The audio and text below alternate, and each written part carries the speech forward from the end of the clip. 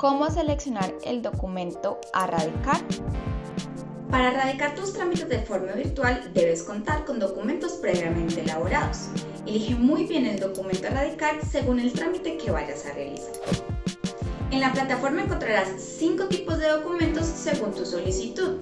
Con ellos podrás radicar más de 30 trámites en nuestra plataforma virtual. Escucha con atención y elige el indicado según tu proceso. Acta o extracto de acta. Un acta es un documento que contiene las decisiones tomadas en una reunión por un órgano colegiado y debe cumplir con los requisitos establecidos en el artículo 189 del Código de Comercio. Por su lado, un extracto de acta es un documento que contiene las decisiones sujetas a registro de un acta, omitiendo las decisiones e información no sujeta a inscripción en el registro público de la Cámara de Comercio debe cumplir con todos los requisitos establecidos en el artículo 189 del Código de Comercio. A través de esos documentos puedes radicar los siguientes trámites. Constitución, transformación, disolución, nombramientos, designaciones o remociones, reformas, escisión, liquidación, apertura y cierre de sucursales o agencias, cesión de cuotas, fusión, aclaración, cierre de sucursal o agencia. Certificación. Es un documento expedido para dar constancia de un hecho o situación específica. A través de él puede radicar el aumento del capital suscrito o pagado.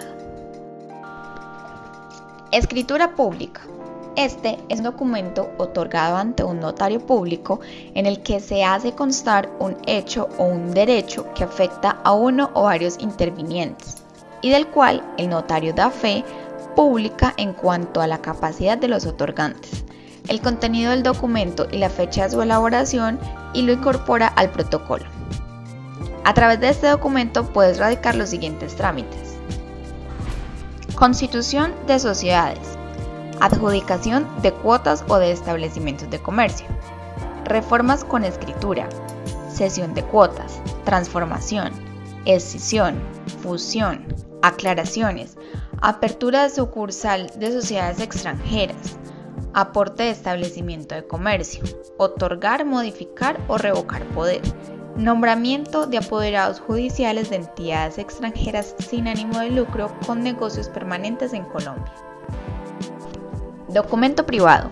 Es elaborado por una o más personas con el fin de manifestar su voluntad, celebrar contratos o dejar constancia de un hecho o una situación en particular. Este documento te permite radicar los siguientes trámites.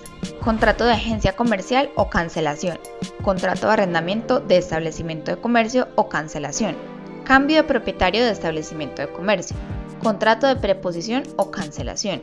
Compraventa de establecimiento de comercio depósito de estados financieros, situación de control y o grupo empresarial, poderes especiales, sociedades que puedan constituirse por documento privado, las decisiones tomadas por el único accionista en una sociedad por acciones simplificadas o por em-, empresario titular en la empresa unipersonal.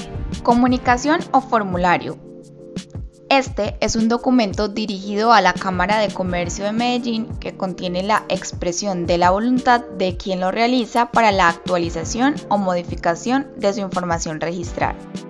Este documento puede realizar los siguientes trámites.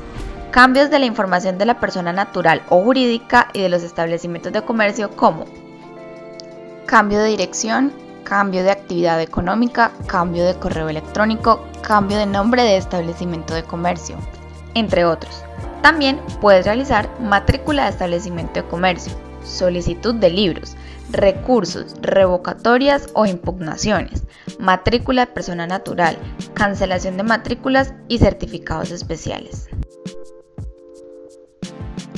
Ahora que ya conoces cuáles son los documentos a radicar y los trámites que puedes hacer de forma virtual, ingresa a cámaramedellín.com y comienza a radicar tus trámites.